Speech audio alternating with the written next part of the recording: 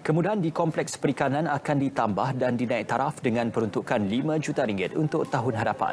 Pengurusi Lembaga Kemajuan Ikan Malaysia LKIM Muhammad Faiz Fazil berkata, antara kompleks LKIM yang akan dinaik taraf adalah kompleks LKIM Kuantan Pahang, Tok Bali Pasir Putih, Pulau Kambing Kuala Besut di Terengganu serta kompleks LKIM Kuala Perlis. Antara yang akan dinaik taraf adalah pembinaan lebih banyak jeti, mewujudkan kilang ais bergerak serta menyediakan kemudahan untuk membaiki bot yang diuruskan oleh Persatuan Nelayan.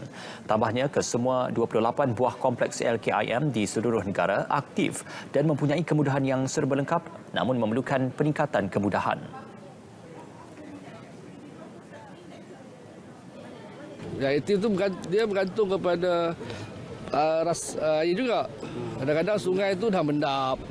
Jadi dia dah dari kurang aktif dan sebagainya. Sebab tu kita perlu hmm. satu koordinasi dengan agensi lain, dengan GPS dan sebagainya untuk mendalamkan mora-mora yang adanya kompleks pendaratan kita. Uh, jadi semua itu perlu dilakukan secara bersepadu supaya ekosistem perikanan ini dapat kita uh, maintain dan pertingkatkan